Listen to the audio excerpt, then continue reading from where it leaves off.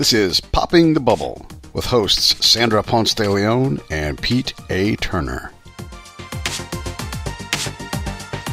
Hey, this is Jeremiah Owyang, and I'm on Popping the Bubble.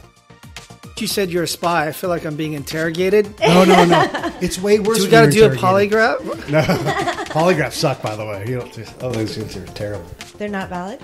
No, they're valid. It is gut wrenching, You're nervous. mind heavy work. Yeah, and then like just the questions, and then you're trying to be calm because you don't want to So give. you've actually undergone. Polygraph. yeah, it Oh, of sucks. course It's you horrible. I've been tested. I've been tased because you have to go through it to understand what you're putting. Have you been waterboarded? someone through? I've not been water, but I, I would. I mean, if that was part of the job. And waterboarding, I'm sure sucks because I've oh. seen horrible things that wouldn't fall under the term torture. They, they don't leave any marks. They're In stress position. Val- just like yeah. mind, mind, mind fucks. Well, mind fucks are one thing, but I'm talking about physical discomfort. Oh. Where, where you're just like, I would like to make this discomfort stop. I'm not Like talking sitting pain. in a weird, like going, like yeah, things stuck like a lot this. of things, and nothing I'm going to talk about with the thing recording. So I can tell you off mic. But Hey, Jeremiah. Hey, Thank you so much for joining us today. It's great to have you here. Yeah, this My is pleasure. Actually, we're here in your house. Thank Yeah, you thanks for having hosting us. thanks for coming down you. to sunny Silicon Valley. We're right in the middle, like so. We're right in the middle of Box, Tesla, and Facebook, and their employees like live in this neighborhood, and it's quite a wild ride. A lot of nerds. Do you track them down and and uh, interview them? Oh, it's so easy to find them. They always got their heads down. They're hunting Pokemons. Do you guys Pokemon here? Oh, where's J- Jiggly? I, I need Jigglypuff bad. So, Jeremiah, we have known each other for a really long time, and Yeah. um, you have been a very prominent expert on the web and on futuristic uh, trends. Thanks. Uh, now, the CEO of Crowd Companies, which is a consortium of Fortune 100 brands. Yes, uh, it is. To learn about new emerging technologies. But um, I know you've actually recently been on a quite a health kick, and I've seen you participating Oh, in thanks. all of these races, seen you getting buff. So tell us what's what what what's that all about? Well, thank you. That's very nice coming from you. So there's three things I'm trying to balance in life. It's fitness, family, and being a founder. So I kind of have those things in, in, in balance. And so I recently turned 40 and I made a commitment. It's time to get healthy because, you know, I'm getting older. So I decided uh, with what helps to my friend, like uh, Ernest, who works at Apple, started to do obstacle course races. So last month I finished Tough Mudder, and that was the hardest physical thing I ever did.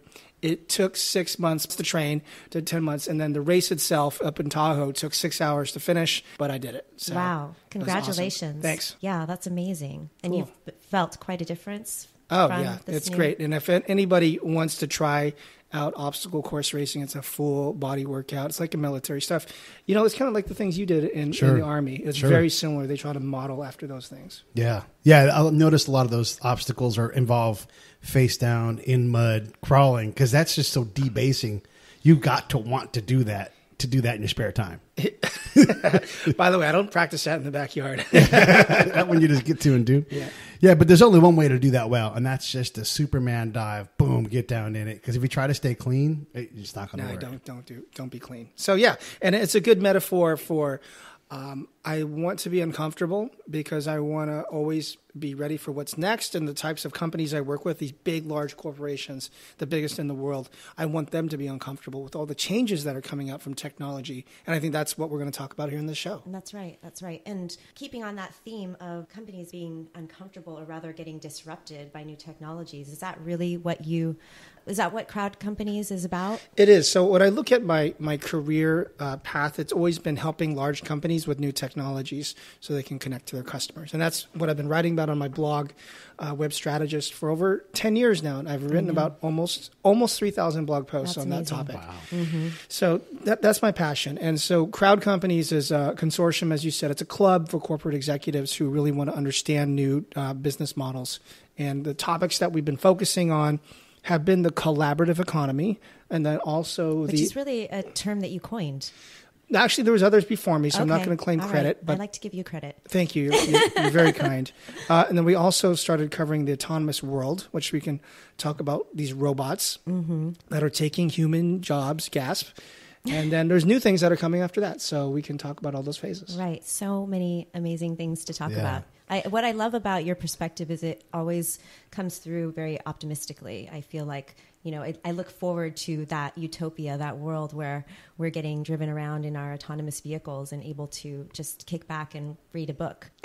you know, it's almost it is feels like it's practically here because if you take an Uber, sometimes you don't even know that that human driver unfortunately is right in front of you because like you just fall into your your mobile device. So we're being already trained and groomed for robots to serve us. It's already starting to happen. And, and you talked about robots taking over jobs but we've got to get over that. We've constantly evolved into new jobs new things. I mean we went from wandering around finding food to agriculture, you know, and that allowed people to do other things. Next thing you know, people are painting on cave walls, and then there's an Eiffel Tower, and all things that Wow, we went from cave tower to tower. It's a short show. yeah.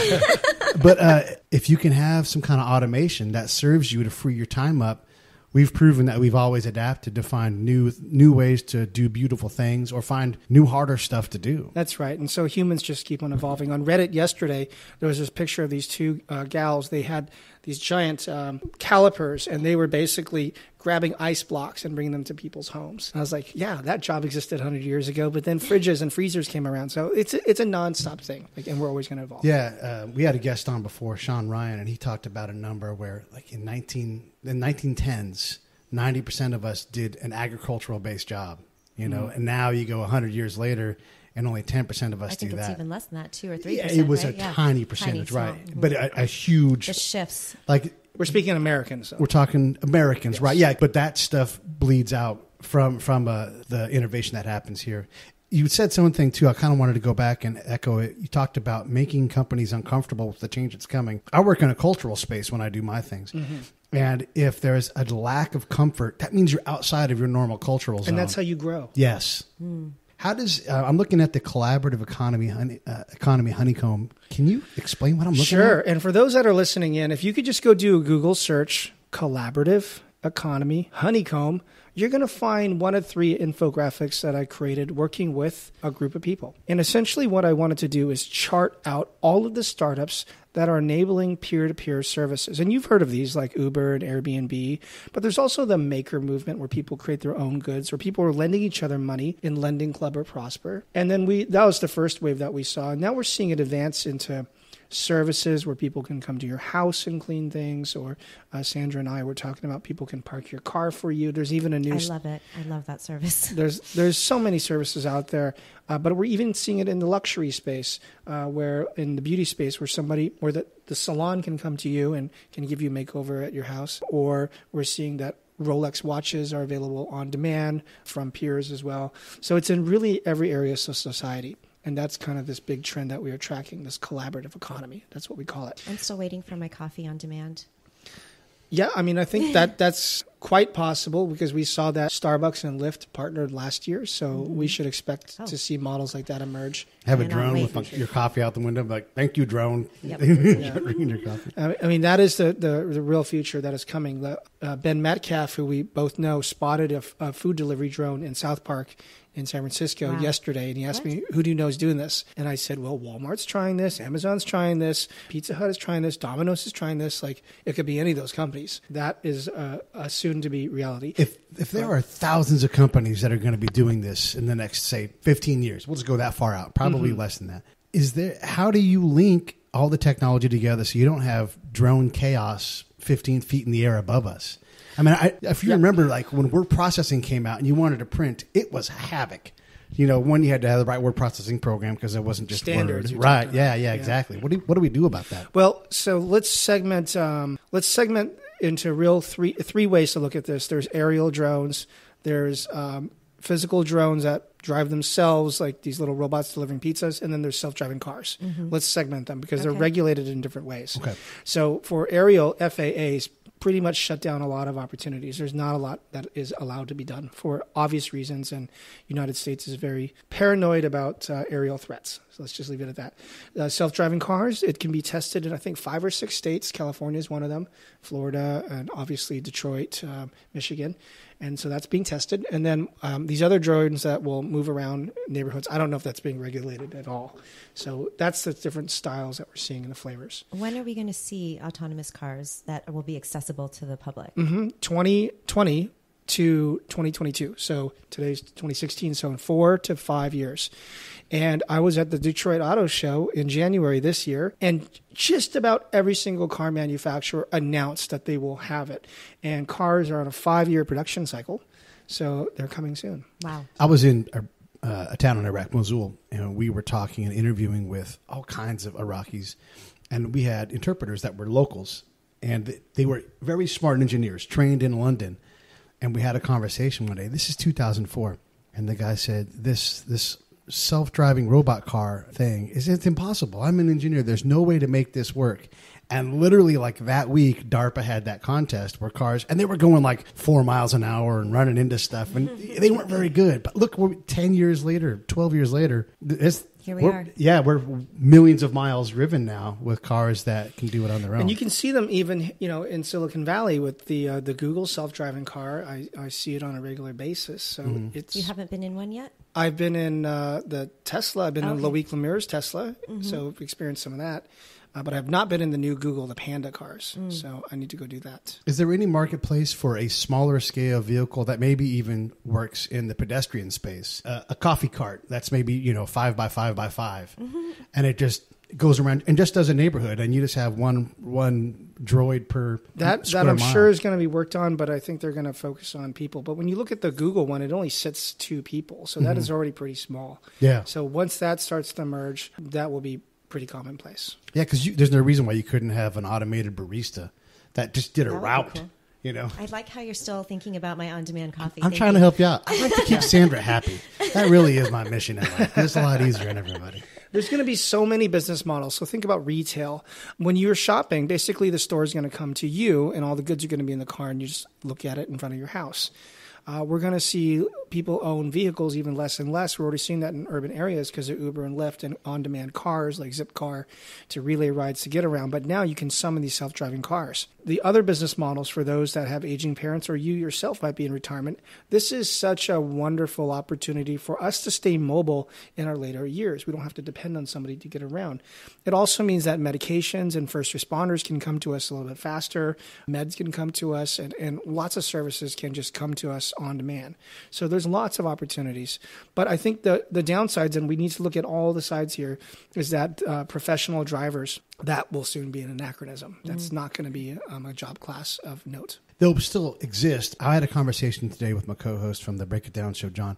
We talked about the last diamond record that was sold. You know, 10 million copies sold. And what was it? It, it was, uh, I think Adele is the most recent one, but it's Adele, and then it's NSYNC in 2000. In, wow, that's a big, like 20, 30 year Yeah, break. like it's it's Wow. over. There are no more 10 million sales. There's going to be a couple here and there that just cross multiple uh, charts and gets there, but it's, it's, the long tail. uh, and it's not albums; it's single songs. Mm-hmm. You know, the market has to adapt. So drivers, there's always going to be a need for drivers that have to handle hazardous waste. We're probably not going to trust that to robots for quite a while. I don't know. you Maybe that might be better in that scenario. That could be better. Well, but it's like having a BART train. You wouldn't need a conductor on a BART train, but there's a lot of human lives on it. So you need that fail safe of, I'm going to make sure this thing works all right. If you've got some kind of petrochemical rolling bomb, we're likely to want some kind of fail safe in there. But yeah, if you're just moving corn, Yeah. why not have that have that done autonomously? yeah. Um, yeah, you were talking about all the opportunities, but th- there's obviously going to be a lot of disruption to a lot of different areas, um, such as transportation Mm-hmm. um, and retail. What what are other, some of the other um, areas? So we're talking are- about the autonomous world. So transportation will certainly be hit first, Yep. And and professional drivers will be hit first. But let's look broader in the overall autonomous world trend, where robots do things better than humans. Any repetitive position that humans do, any repetitive task, is going to go to robots. And the White House released a report earlier this year. This is from you know President Obama, and they referenced a research that was done. So if you make less than twenty dollars an hour as an American, eighty three percent eighty three percent chance that your job is going to be outsourced to robots. Mm-hmm. If you make Wow. twenty to forty dollars an hour, one third chance your job will be outsourced to robots. I think that's the majority of Americans. Yeah. Yeah. Well, I saw you had put a question out recently on Facebook asking what jobs will be automated? What were there any that which will not be automated yeah would not which be jobs will not be replaced by automation and the answers that i heard um, were things related to the arts Hmm. um, the arts creativity storytelling writers people that soothe others healers massage uh, folks, dancers, and then a few a few positions of ill repute as well. Uh, but essentially, the, you know, the human to human type of of things, uh, teachers, parents, those things will still remain human. So that begs a really big question: is what are, what are humans going to do if if robots are taking a lot of jobs in the next few years? And it really depends. Do you have a pessimistic or optimistic view of the world? And what, how about you guys? Are you pessimist or optimist? I'm pragmatist. Okay. Generally optimistic, but sometimes, I mean, recently I've been a little down with the current climate. Okay. Stop reading politics. Stop, Yeah, feel better. stop okay. reading Facebook. po- Yeah, politics start reading posts. Facebook. I Play think Pokemon instead. you- You're going to have a balance of both things. You know, I- Yeah, I- sure. A lot of those jobs will go away, but a lot of the jobs will still be there. Maintaining things, maintaining the things, the robots and the Absolutely. the droids. Someone has to do that, or at least design how it happens. If if something happens in your house, you're going to have a handyman show up. That's too individualized of a task to do to scale it to a, a robot. I would think. Well, that, see, that's not a repetitive task. Fixing Right, my that's banister, true. so that's that doesn't really fit under that that thing. But you think about a lot of production jobs, manufacturing, fast food, bank tellers. Um, there are some things that people that is not what they really wanted to do in life. The process of writing AP stories, if they aren't already, there's going to be automation for that. You know, so many words, so many paragraphs. and Story a- curve, yeah. Right. Mm-hmm. And then could we go to the point of saying TV writing for shows? Since shows are so formulaic and it's on the actor, I, I can't imagine we'll replace actors, but the script itself is, I mean, look, Yeah. I can tell you what happens in every Three's Company episode, every Chip episode, every episode. The reason why I don't Dating watch. yourself. What's that? I said you're dating All yourself. right, well, then that's it. I'll do this. Kardashian, sorry. Any episode of Big Bang Theory, I already know the jokes. I already know what's going to happen. And the show's wonderful. Uh, but it's a before watching it, you're saying you can predict what's going to happen. Yeah, I mean, every every show has the same pattern. Yeah, so there are patterns and they know what humans are doing, so those things can be automated. And there was recently um, an app where a robot was creating art and people could not tell the difference. Sure. So it is quite possible that a lot of these things, through pattern analysis of what humans like, that could be replicated. So when you looked at the discussion that was happening on, on my thread, just about everything could be uh, replaced. Except for your mom and dad. Yeah, except for your mom. Well, no, that's not quite true. It's right? getting there, yeah. Yeah, I I'm going to 3D print you. yeah. So the question is, what what can humans do? What do humans really want to do? what will humans be doing yeah, are if everything is automated? is there higher order things that we could be doing? Could we all just be hanging out and creating podcasts and Yeah. and um, and hanging out in the sun? Could humans go to a, a higher phase on Maslow's pyramid if the bottom phases are taken care of? Well, and and nobody grows up and says, you know what I want to do? I want to make sure I file off the plastic tabs when we print out a a, a lattice for the gardens. I want to do that all day long. Just mm-hmm. file, file, file. Like no one says that. They say something creative. You know, I, I, I talk to people all the time that want to write the book, and I'm like, well. Write the book, but in the meantime, let's do a podcast. Let's get it done. You know, those things, you can pursue those things more if you're not filing plastic off of a lattice somewhere. That's right. So the the way that we will see humans uh, behave will change. Now, there's a second follow up question: Is this is how are people going to get food? How are people going to get rent? And the discussion that's being had amongst people in this space is this is not a political, a, a partisan play on either way, but is providing a guaranteed income to all of these individuals. Have you heard of universal right. basic income? Yeah. Yes. mhm. and that's being pushed. Um, it's being talked about both on the left and the right, and even from the tech entrepreneurs who are going to be producing these robots, they want it too. Because if you don't provide income to people and everybody devolves, you're going to have a revolt. And guess who they're going to come after? Stops. Yeah. right. The And- one percent. They're going to come after the one percenters. Yeah. right. going back to automated uh, tran- going back to automated transportation sandra and i were just talking about. So we have we have this desire to be more like europe and have uh, fast trains that take people places. But it almost seems like that idea is is becoming passe. Why would you spend multi-billions of dollars to put people on a train when they can turn an app on and be in a car and gone. We have a different infrastructure here in the U.S., right? We For, have for roads. sure, especially in the western, the great western states are a lot bigger. Well, that I mean when you look, I was just interviewing um, the CEO of Hyperloop at, at How BM cool. at Hyper. At, there's two Hyperloop companies, by the way. There's Hyperloop One, and then there's Hyperloop Transportation Technologies, and they actually compete with each other. It's the weirdest thing. So just beware. There's Okay, multiple had no Hyperloop because uh, Elon open sourced it, and so everybody said, "Oh, I'm going to do it. I'm going to do it. I'm going to do it. I'm going to do it." So there's many different groups working on it.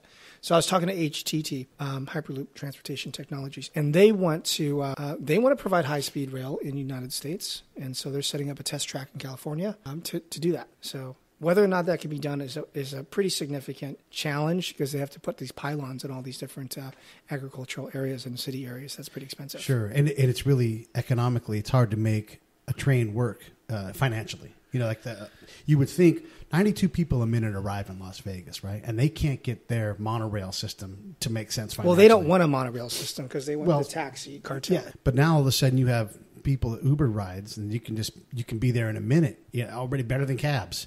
So it makes that bridge to getting to the monorail system, if they all got on board with it, it- makes it that much further away. What about an existing infrastructure in the East Coast cities like Chicago? You don't need a car in Chicago right now, With but the L? you Yep. have to maintain the L Or New York. right? Or New York, or uh, look at the metro just uh, broke down in D.C. and it just it caused havoc. You know, it's when those systems go down, the billions of dollars you have to spend maintaining this gigantic infrastructure system. Two part question: How do we get people out of that mindset and into this shared locomotion environment? And two, is that is it better to is it better to maintain one giant system that already exists, or is it better to innovate and have a million little small systems that have to be maintained? So I love this discussion. I mean, essentially, we're hammering out centralized versus distributed, right? Right. Technology is pushing towards distributed and using p- existing assets that already exist. So the collaborative economy, like Uber, Airbnb, is finding resources that are already around you, local resources, and using your phone and finding these things around you. You can quickly access them. They're faster and sometimes cheaper too. Right. So that's just tapping into what's already around us, and and that is a form of um, redundancy and resiliency. So, for example, when the BART, which is the subway system in in San Francisco, went down about two years ago due to strikes, we saw a massive increase of Uber and Lyft and at the time sidecar downloads and usage. Mm-hmm. So the the crowd was turning to each other when centralized systems failed, mm-hmm. and that's one trend that we see in technology. People turn to each other to get what they need using tech. Yeah, I think that's a common theme in the whole collaborative economy that you Yeah. talk about is people turning to each other when the corporations or industry isn't servicing their needs. And That's I think right. this is just another example is the demand is coming from the crowd and the, the need from the crowd versus Mm-hmm. the creation of a new demand with these uh, high speed services that are in the process of getting built. That's right. I just came up with the billion dollar idea. I'm going to call it. it Boober. It's boat Uber. And uh, you go to the shore, what? Boober, boat Uber, and you go to the Uber, shore, okay. and some dude has got a boat. It's like, yeah, I'll take you across, and it's like the old ferryman, but now you got you just do it with your boat, with your hand, you know, and you a boat shows up, and now you don't got to pay for the bridge, you don't got to wait on the ferry, you just go across, fifteen minute ride, no bridge needed. How about that? the I think you're onto something. Yes. I think you might need to work on the branding though, but I, I- this yes. idea is solid. Hey, Sandra just- can help you with that. I that. can help you with that, Pete. you might have to do a little brainstorming on that name. I thought it was genius. Maybe we could go to the crowd. yeah, we can go to the crowd. to the crowd. so um, I, I guess sort of switching gears a little bit that you've got these new emerging trends and you're helping uh, these companies fortune 100 companies take advantage of these new emerging trends but what are some of the roadblocks that these companies encounter along the way when they're trying to create innovation The, the biggest problem for these big companies is not external; it's internal. They really step on each other and they fight each other. Almost all the conflicts come from within. internal stakeholders And- battling well, they're, they're generating revenues from their existing product. So one group, the product managers, and that team is the, the regular product. They don't want to fight this movement uh, because it's, um, and they don't want to join this movement because they're already generating, generating revenues and they're held accountable accountable to quarterly earnings. Right, and ultimately, it's cannibalizing those other existing That's right. product lines. So the companies have to set up a group for innovation to invest in one year, two year, three year, four year, 10 year, 20 year bets. And a lot of those bets will not pay off. The chances of success are very low. So it's very hard for corporations to want to do this. Uh, let's talk about Nestle, who I think is doing a great job. They set up, an, they're from Switzerland, obviously, and they set up um, an innovation outpost in San Francisco. And they have put tens of millions of dollars towards 30 projects that they're kicking off. Uh, many of them will not be wild successes, but they're anticipating about 10% will. It's kind of like start investing in startups almost. It- it totally is. mentality into innovation. willing to take risk and and that's part of what it's like to to make sure that you maintain your longevity decades out as you have to place bets in innovation now and so they're doing that and they set up a, a team and they're working with startups and they're building their own versions as well all these different projects and even if a project doesn't win they're going to con- or quote unquote succeed they will still think of it as a win because of the learnings that they will get from this and they can apply it forward and so that's a big step forward for the world's largest food brand in the world to That's take cool. on Is it has anything come out of the outpost yet? this is just, uh, they actually have done a few small things, but this is like the big push now, and they have a lot of executive support. So we can watch that story. I've, I've seen more of this too. We actually had uh, just last week, maybe the week before that, we had Sarah Kuntz on, and she's got a startup based on fitness and, and getting athletes to do a workout Pro with you. Yeah, Pro Day, and it's awesome. So. Cool.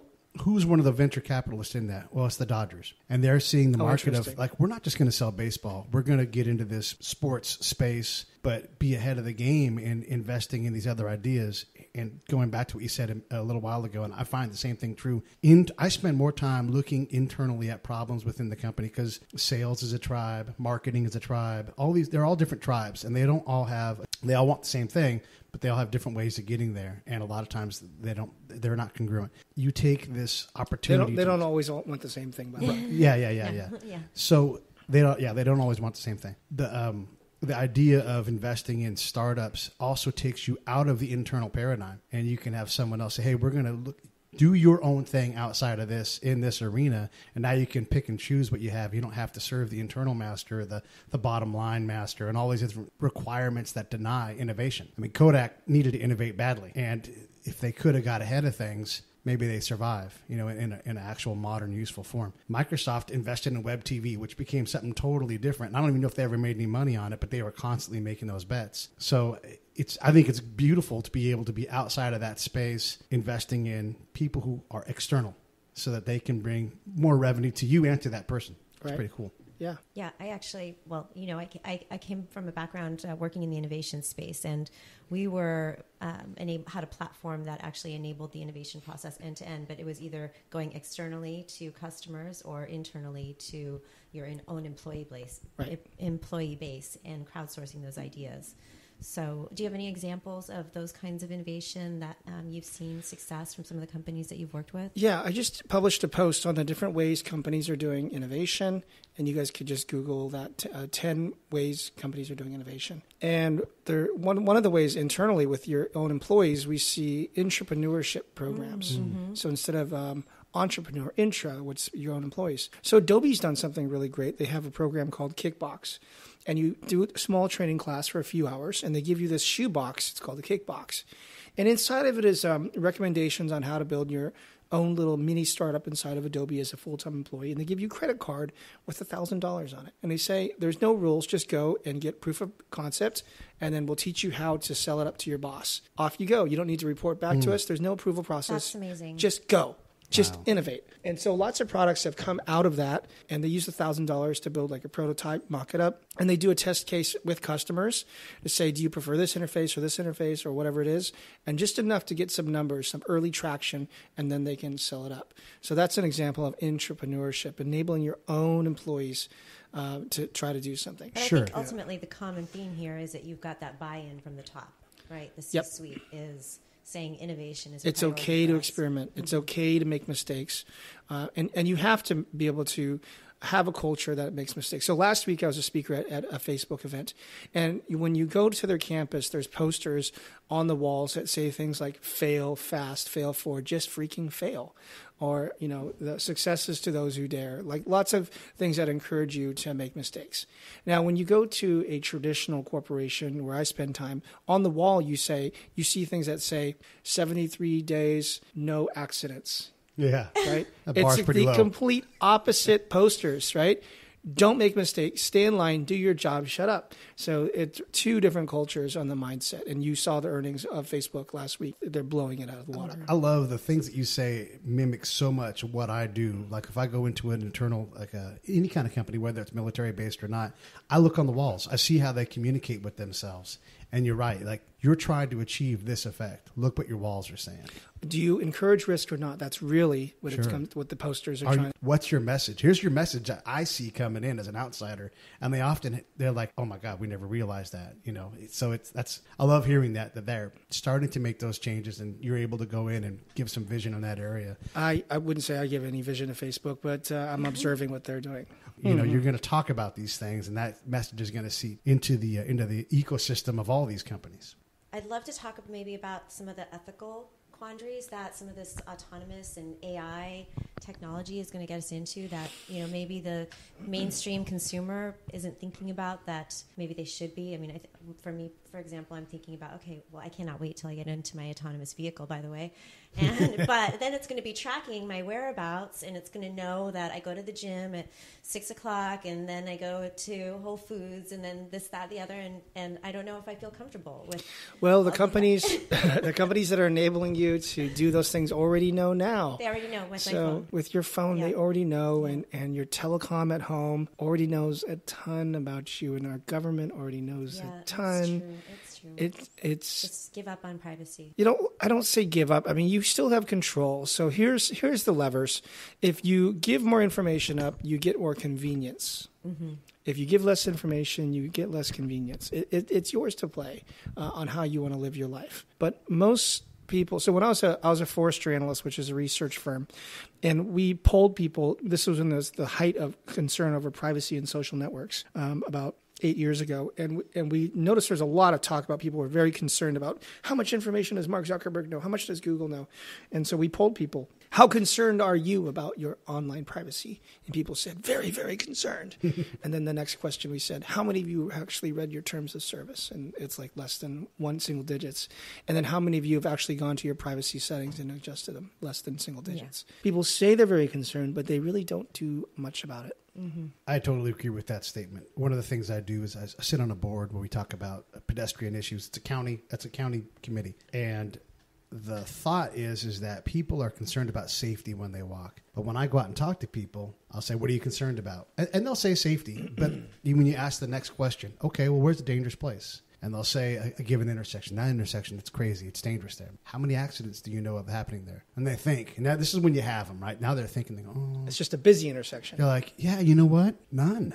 Like, so what really matters? They're like, honestly, I like it to be beautiful. I like to have my friends there with me when I walk. That's what gets me to walk. It's not this pre programmed, I will walk to work process that the engineers think about. And God bless the engineers. I, I want them to do their jobs, but they're thinking about convenience, what's uphill, what's down, what am I going to carry, all these other things. And they'll say safety, but really when the, when the rubber and the road meet, it's not safety. It's, it's the pleasure of the walking experience that matters the most.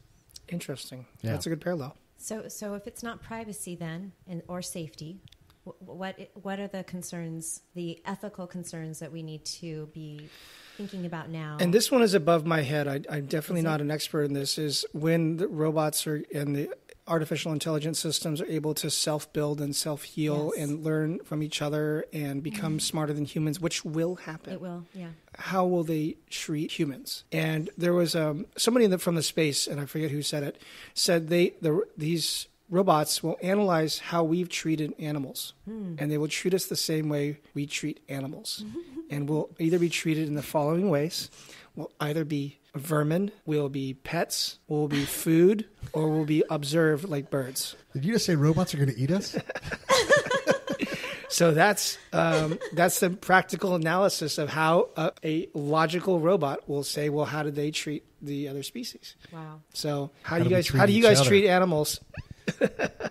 That's crazy. There's, so that's the ethical. I'm not vegan, so so that's the whole ethical Yeah. que- question because they will be super, more superior or the than us at some point. decision making process when there is an accident that's about to happen. How does the robot decide? Okay, so that's yes, that's a, a more near term thing, and that's being programmed now. Is uh, who who dies, right? And and you can I've heard Google talk about it, heard Tesla talk about this. They all have different answers where they're just trying to maximize safety. And actually, the interesting thing, Sandra, is it varies by culture. So in Western cultures, the question is, uh, do you save the young kids or the old people? And almost everybody says the young kids. But in other cultures, like Asian cultures, the older people are valued more because they have wisdom and experience. Wow. So Yeah. it actually varies. Um, so fascinating. so the ethical programming for and morality programming will vary. or the owner or the crowd, right? Yes, that too. Yeah, is that? I know you said in Asian cultures, but like if you were in Kazakhstan, is that still the same too? Like, do you have to have a cultural wiring put into the programming? Because who knows in different areas what they value, especially in areas that are conflicted, where death just means a different thing than it means to stable countries. You know, where life is yeah, life's important, but people die around here. You know, and that's part of our life. How do you how do you even begin to understand how to create a, a consumable safety product? Like that's that's challenging. With, with that said, the amount of deaths that have occurred from self-driving cars has been one Sure. after millions of millions of miles driven, and and there's so many deaths from human-operated cars. So Yeah, fifty thousand a year in the U.S. It- so is the future that the accident rate is going to go down? that is what's been predicted, and so the insurance companies that I, I work with are concerned this could oh. wipe out auto insurance as we know it, uh, because you're not going to the cars will be safer than human drivers. So there's lots of ramifications. Um, even ambulances and hospitals, they will have less patients for first responders from auto accidents. There's a lot of um, implications just from self-driving cars. There's also going to be a lot of automation in the hospital that's going to take out subjective opinion and put in actual, you know, using pattern analysis and those kind of things to heal more people more effectively. Uh, yeah, I haven't studied that, so I, Yeah, I'm but not I mean, sure it's going to definitely affect insurance and how insurance operates for sure. We're going to be living longer. There's going to be more of us. those are all I'm getting uh, hungry very likely already things. thinking about that. more people. Yeah. Yes. So lots of changes as automation and technology improve. Human life will get better, but there will be a lot more people here. So these things also need to provide resources to us. Yeah. Um, so I'm going to the uh, Next Economy Conference, which is Tim O'Reilly's conference in September. And um, that's actually the theme of that event. And so I'm writing up a post about the topics that they should broach. So these are the types of things. what? It's called the Next Economy. So they're looking at the combination of technology plus society Mm. and the economics. And these topics that we're talking about here today, Wow. that's going to be the major cool. Oh, um, discussion at the O'Reilly event. And that'll be at the Palace in San Francisco. so I'm really looking forward to that event. That's cool. Sounds amazing. Yep. For me, um, since I've known you for so long and Yeah. I've kind of seen your rise and you know seen Thanks. you turn into this incredible public speaker and the CEO and forefront of your company, I guess I, I'm curious what advice you would give to your younger self now, looking back. Oh gosh. I mean, there's a, a lot of lessons on, on management and leadership that I've learned on, on how to hire people and having a clear business model. I think the one thing that I've done in my career is I've always gotten in front of the next parade. So I can't take credit for the technology engineering that these amazing companies have done. I just got in front of it and helped to explain it to the companies that need to understand it, these big companies. And this is actually a quote I, I learned from Tara Hunt. You know Tara, right? Um, I know her name. yes. Okay, yes. And so I, um, she said long time ago, just get in front of a parade and identify the trends that are coming, and then try to make it easy for other people to understand. And you guys are doing that right here on this podcast too. So uh, one and the same. So get in front of that parade. And today, this parade we're talking about is automation is coming very fast. So get in front of it now. Get in front of it. Yeah. And that's a that's a good human space for making money because you can be a company that innovates so fast, no one can keep up with you, and you need some guides in between you and that innovation. And that's that's a great space that's hard to automate. That's right. Cool. I appreciate your time, man. Thank you. Thank you guys for having me. That was a real you joy. so much. Thank you. It's been awesome.